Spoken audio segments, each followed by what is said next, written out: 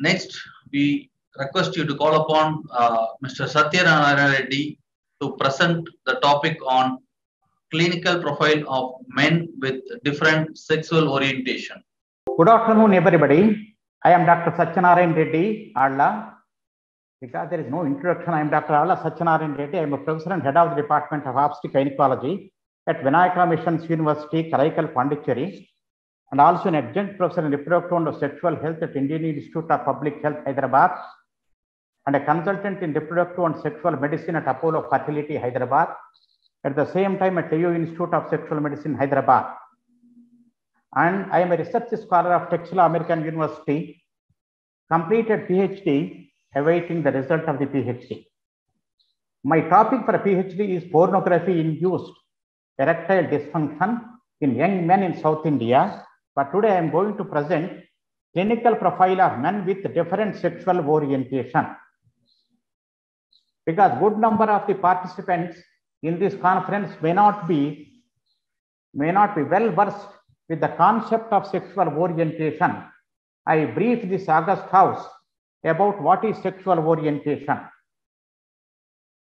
Sexual orientation refers to romantic and sexual attraction to another person. A sexual attraction to a person of a same sex is, that is, men having sexual attraction towards men and women having sexual attraction towards women is homosexuality. In the same way, sexual attraction to the persons of the opposite sex, that is, a man towards a woman and a woman towards a man, is called heterosexuality. Having sexuality, sexual attraction towards both sexes is bisexuality. And sexuality, sexual orientation is not a single entity. There is, it is a continuation from homosexuality at one extreme of the our orientation to heterosexuality at the other extreme of the orientation. Now to tell you in a graphic way, here is a male who is who is androphilic, that is attraction towards male. Then he is homosexual. A male who is gynephilic, that is having attraction towards female, is heterosexual. A female who is androphilic, attraction towards males, is called heterosexual. A female who is gynephilic, that is attraction towards female, is homosexual. Then, in addition to having sexual attraction, he may do sex with a person, that is having sex act with another man, that is having sex with his with the man whom he is attracted to. That is, it is attraction followed by action. He may be doing sex with a man. That is a sexual behavior or sexual activity. We learned that sexual orientation is a continuum from exclusive homosexuality to exclusive heterosexuality. But there is a grade between this level of sexual attraction. Kinsey scale is one such grading scale to assess the homosexual status of a man or sexual orientation status of a man. It ranges between 0 to 6, 0 being exclusively homosexual and 6 being exclusively homosexual. There can be somebody who is intermediate also. How prevalent is homosexuality? That is, how prevalent is homosexuality cannot be assessed correctly. In, a, in the Western society, where homosexual people are accepted as their own or there is no homosexuality negative attitude in the society, people came, come out and then tell that they are homosexual. But in conservative societies like India, where homosexuality is now also is viewed by the public as some aberrant sexuality, people won't come out, people won't reveal themselves. So the obvious revelation of homosexuality will be different. Actual homosexuality is different. But in the Western society, 4% of the males are considered to be homosexual. In India, 1% of the men are said to be homosexual. 0.5% of the women in general population are said to be homosexual. Homosexuality by law is not uniformly uniform in the world. In Western countries are who are not, who are very comfortable with homosexual attitudes of the persons, you can see in the dark blue color, all the Western countries, homosexuality is legal. They can, there is no discrimination and they can get married also. And where it is not, it is not protected. That is, there is no homo negativity, but it is not a criminal offense. It is not a crime to practice homosexuality. These countries are depicted in pale blue color. And in countries where homosexuality is criminalized, having homosexual attraction or homosexual acts are crime, it is depicted in the red color. But India, in the recent past, have upgraded into a this color. That is, it is not criminalized. In India, now it is not in the red zone. In India, homosexual acts between consenting adults is not a crime at all. Now, people can have a negative attitude towards homosexuality. There are two varieties here.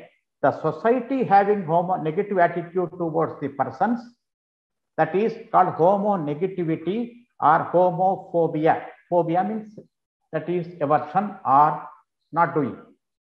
The society viewing this as aberrant or deviant, deviant or sexual perversion.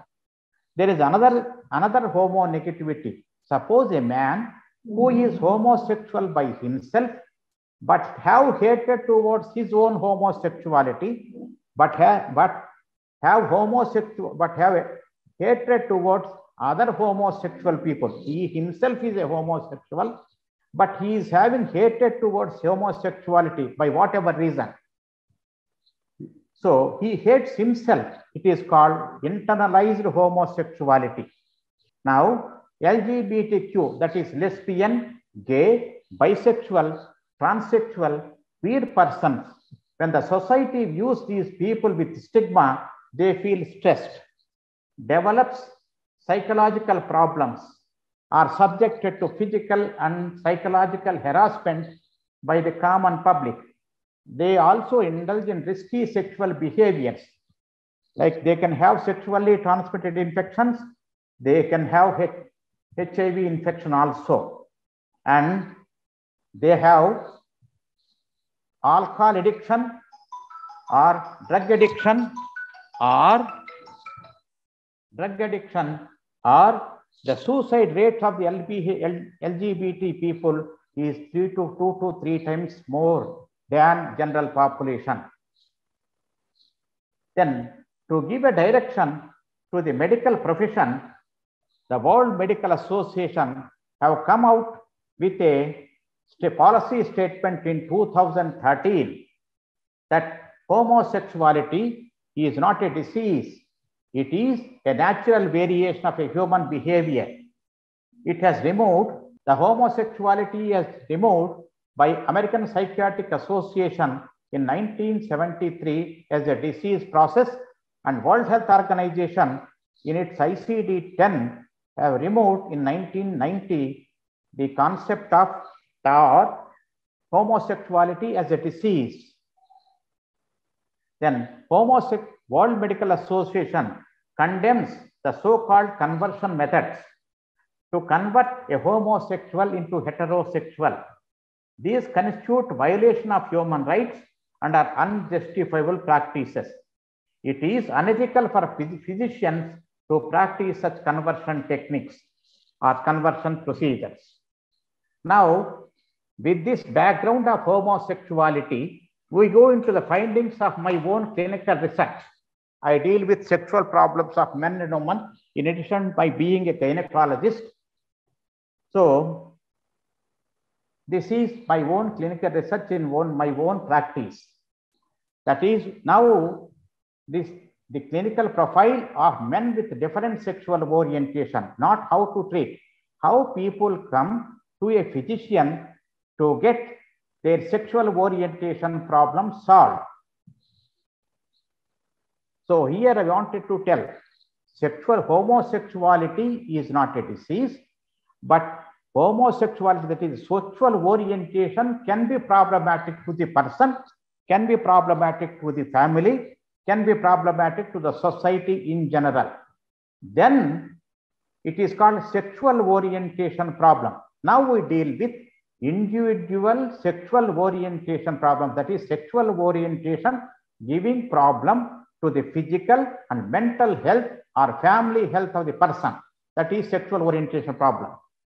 So to give an idea how a man with a homosexuality approaches a sexologist or a physician, I quote a sample case. This is a sample case, not a specific case.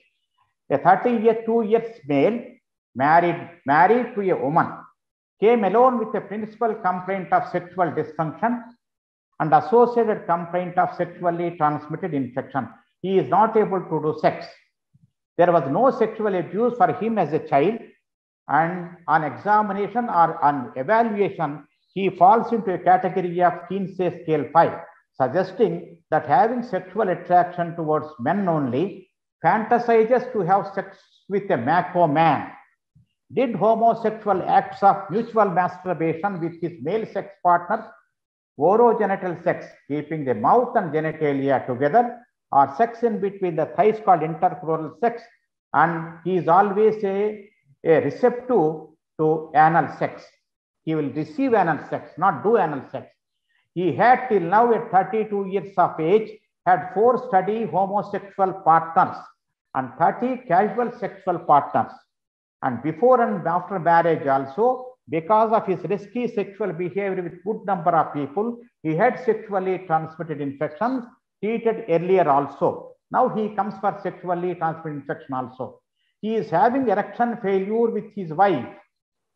And till now, after many months of married life, he is not able to consummate the marriage. That is, he is not able to enter his wife at least once to complete the sex act. He didn't have any gender identity disorder, no sex perversions. He came for a treatment of sexually transmitted infections also. Wife came to know of his homosex acts very recently. This is the sample case with which people come to us for their sexual problem. Now, the, the material I have taken is the most recent 100 men with a sexual orientation problem or sexual orientation concern who came to me in the years 2018 and 2019 with a few spillover cases of 2020 and 21. A good number of people are not coming during the COVID season of these two years. Majority of the cases are in 2018 and 2019 only. Of these, 50 men with sexual activity with men are had concern about sexual orientation, but there are heterosexuals only. We come with later. Now, the clients with 100 out of the 100 clients with whom I dealt with, 62 men, that is, it comes into percentage also, are between 21 and 30 years of age. 32 people are between 31 and 40 years of age. This is prevalence, not incidence. Then out of these 100 people, 48 are unmarried and 47 are married to a woman, not to a man. And five, five men got married, but divorced because of a sexual dysfunction in him. And only two people came with the wife and two people are forcibly brought by the wife's wives for a treatment of their sexual dysfunction. What for they came? That is, this is more important slide than anything else. The reason is what for a patient comes to, to the clinician, to the sexologist to have an assessment of his sexual problem. That is, 41 people out of 100 people came for a sexual dysfunction. That is, he is not able to have good erection or not able to do sex or he is not able to ejaculate also. And he is not having a sex desire also. And 14 people have never consummated their marriage even after months and years of living together with his wife. And it is quite interesting that 22 people came, whether unmarried or married, to have an assessment or to discuss their sexual orientation to discuss about the problems of their sexual orientation, to have a clarity, to have to me certify that what is their sexuality status. They are ignorant or they have a vague ideas of their homosexuality or they overreacted to their homosexual behavior. And 17 people out of these 100 people wanted me to convert them into heterosexuals. That is a request. Whether we did it or not, it is immaterial. And eight people came with sexually transmitted infections. It is quite interesting to note that out of the 100 people who came to me for a, a homosexual problem, seven people came with a sexual dysfunction with their male partners, not with the female partners. They are having sex with their male partners and they are worried about that they are not good in bed with their male partners. That is, they are not having, he can, the common complaint is, my boyfriend in sex is, that is male having a boyfriend in sex. My boyfriend is lasting longer than me and his penetration is far better than mine. That is sexual dysfunction, the male partners. These are the proper complaints with which the people come to come to the sexologist. So all the people I have assessed by the Kinsey scale, by the Kinsey scale, that is, out of these 100 people, 47 men are out of the out of the 100 people, 47 people are exclusively are predominantly homosexual 10 men are exclusively are predominantly heterosexual. They're heterosexual, came for homosexual concern. And six people are bisexual, nine men fall into intermediary category between these two. Now, how many sex partners they had till now? In India, in India, among heterosexual men, ordinary people, a man who is a, a man who is interested to have sex with a woman. Unmarried men can have zero to one or two sex partners before marriage. In India, I am talking to. And for a married man, he may be having an extramarital sex partners anywhere between 0 10, depending upon their interest in doing sex outside marriage. But here you can see that only 39 people out of the 100 people, only 39 people had one or two sexual partners and 21 people had partners of 10 to 15 sex partners till now and four people had more than 100 sex partners, all homosexual sex partners. That is to tell this shows that homosexual men are more promiscuous or have more sex partners than the general population. Then what sex acts they perform? This is quite interesting for a novice in the sexual medicine or novice in the homosexual context of seeing people. They'll be curious to know that is what sexual acts they perform one man with the other. That is mutual foreplay, mutual masturbation, he giving blowjob, he receiving blowjob, and job from another man, doing sex in between the thighs, he penetrating other man, other man's anus, he receiving penetration from another man's anus. From that is, in the anal sex, some men are exclusively penetrative. That is, they, they will do only penetration of other man's anus. They are called top. Some people have a mentality to receive anal sex. They don't do anal sex, to receive anal sex. There are nine people out of these men are always receptive. These people are bottom. Some people are versatile. They can participate in both ways. They can do anal sex, they can receive anal sex. People who do anal sex are, are called top. People who receive anal sex are called bottoms.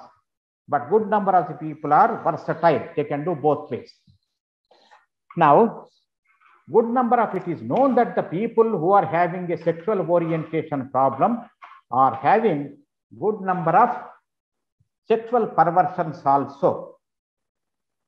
They are having good number of people are having sexual perversions, the common perversions, because these people won't come to this complaint, who elicited that complaint. Now, of 15 men, never had 19 men never had any homosexual contact with other men.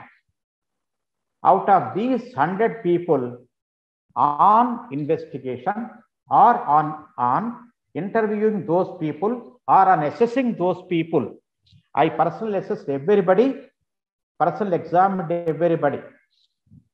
Then I could find 15 people are, even though they came for a homosexual concern, they are heterosexual. They came for homosexual concern, but they are not homosexuals.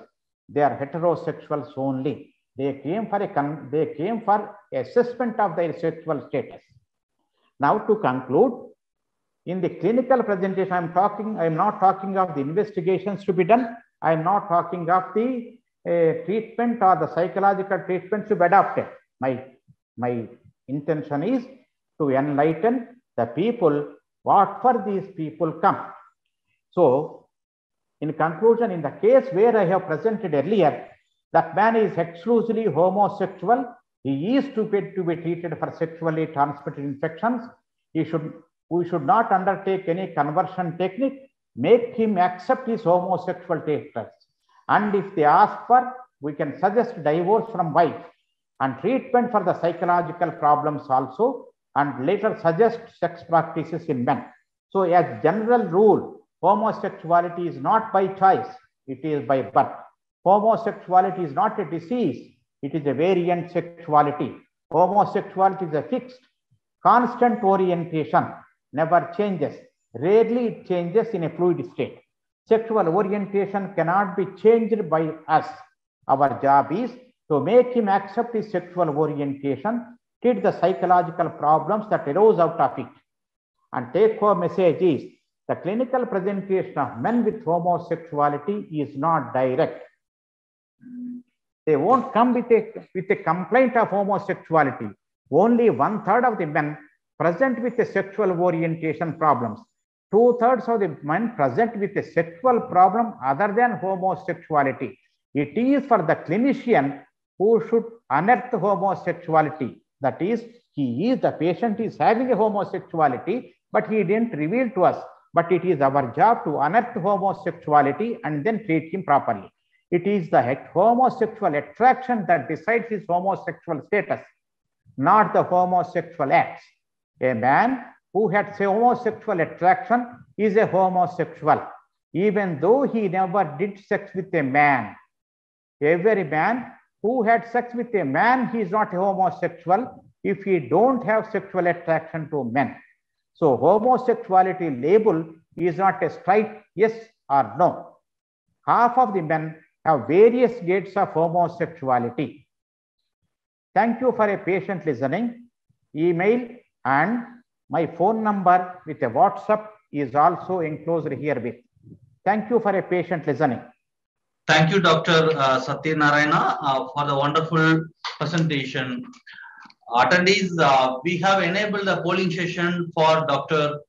Satyanarayana's presentation, requesting you to participate in the poll, also requesting you to post your questions in chat box on presentation of Dr. Satyanarayana. Doctor, we have first question what yes. of looking at homosexuality as a psychiatric disease?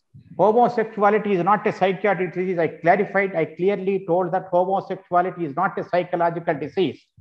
But people with homosexuality, when they are living with a heterosexual, that is normal society, when, when these people are not accepted, when these people are not accepted by the common public as one of them, these people develop a psychological disturbances. Make a difference. I want to i i wanted to clarify that it is not a psychological disturbance. It, it is not a psychiatric disease. It is a normal normalcy that's all. They have they are born with that one. But the psychological problems my my presentation is misunderstood by the questionnaire that is people are not problematic in having a homosexuality but people who are there homosexual in the society who is against homosexuality, they develop psychological problems because the candidate himself treats himself as bad, the society treats him as bad. So he develops, he is not normal. He, he thinks he is not normal.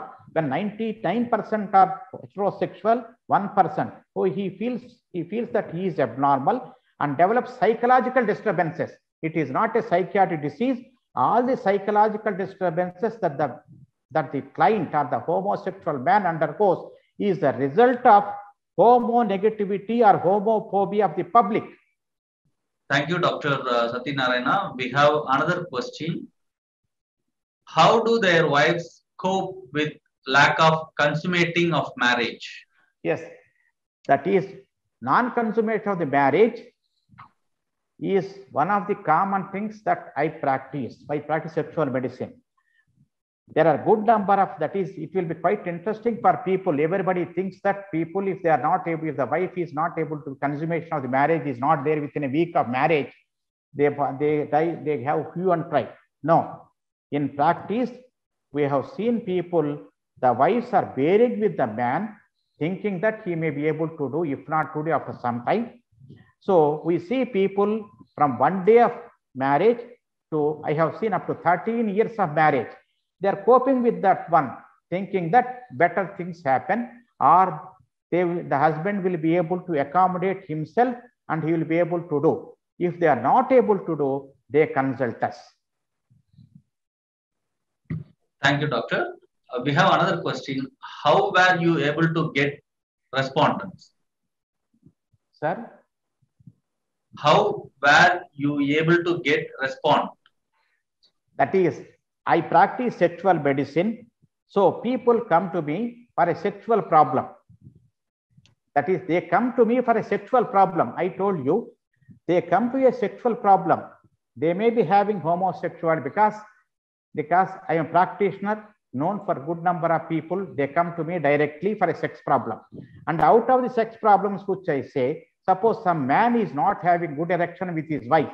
Then if I probe, he will be telling, I am having the reason for not having erection with his wife is I am having attraction towards men only, not towards women. That is the reason he comes. So the respondents I receive from the public because good number of people in the area where I practice know me as a sexual medicine consultant. Yes, sir.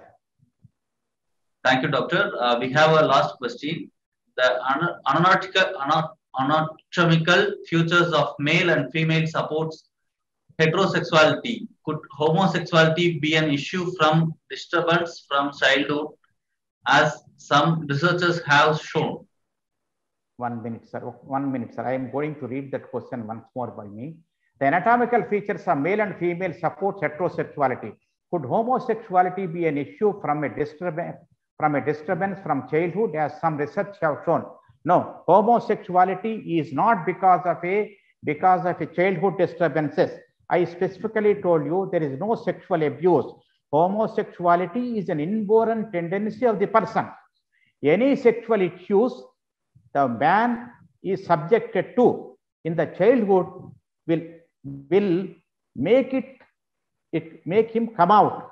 That is, he is having inside his feeling of homosexuality, but when somebody else, an elder person, provokes him for a homosexual act, the innate nature of his comes out. Nobody can make you homosexual, but they can make you realize your homosexuality. That is a disturbance in the childhood is not a reason for homosexuality. A disturbance in the childhood, suppose he get a sexual abuse from elder man, a boy having a sexual abuse by an elder man, then if at all he is homosexual, he practices homosexuality, he realizes his homosexuality. But if at all his nature is heterosexual, he hates that man who did sexual abuse on him. So childhood experiences are not at all related to the person being homosexual or heterosexual. Thank you, doctor. We have uh, one more question. Yes, Provocation of fulfillment of marital hopes and having a family are key issues in marriage. How does homosexuality promote or negate these social values? Question from Rachel. Yes, sir. Yes, sir. procreation and fulfillment of marital vows and having a family are key issues in marriage. How does homosexuality promote or negate these social values? Now we are living in a society where we think that a man has to marry a woman. Uh, who made this rule? Very simple. A man can marry a man today. A woman can marry a woman today. It is legalized in a good number of countries. In good number of uh, Eastern countries or conservative societies, there is no legal sanction for marriage between a husband and wife. So the, the one who asked this one, that is, we have to see from a different level of our understanding. Our understanding is a man marries a woman. That is marriage, it is called. No, a man can marry a man. A woman can marry a woman. It may be, we think that it is against nature, but homosexual man can think that heterosexuality is against nature. So it is the way which we think. So the definition of marriage, the questionnaire Dr. Rachel asked is marriage is between man and woman only. Then that is, we have seen people, homosexual couple living together faithfully for the past 30 years. They are faithful to each other. That is, they, they can they don't have procreation capacity, but there are artificial techniques of producing their own children also. Thank you, doctor. We have a last question. Uh, Yes, sir. during the course of this study, what are the limitations of this study? Doctor, do you want me to repeat the question? Yes, sir. During the course of your study, Ah, what are the limitations of this study? so I don't have the, that is limitations of the study is number one. The partners, the suppose is a married man, married to a woman. The man comes, he never brings his wife because of shyness, because of he not having comfort zone with his wife. But I ask those people to bring their wives, but good number of the people don't want to expose themselves to their wives as homosexual, so they don't bring these wives. Suppose if the wife comes, then we'll be able to advise those people. That is the limitation. The second one, even if you confirm that this man is purely homosexual or exclusively, I don't say purely, if there is nothing purity, it is exclusively homosexual, still we suggest it is injustice to the girl, to his married wife. We, I advise those people, don't get married before, if they come to me before marriage, a exclusive homosexual, if they come to me before marriage, I say, don't get married to a woman. If at all you wanted to get married, get married to a man or stay bachelor. If at all he is a married man, then I say, exclusive ho- homosexual man to get divorced. So this is a little sensitive issue in conservative societies. So these are the limitations I found during the course of my practice in sex medicine in homosexuality. Thank you so much, doctor. Yes, sir.